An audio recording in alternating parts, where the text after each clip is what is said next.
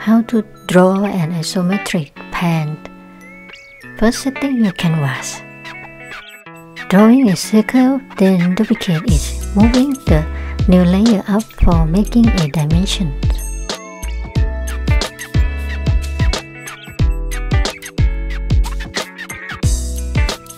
After that, create a new layer and start to draw a handle.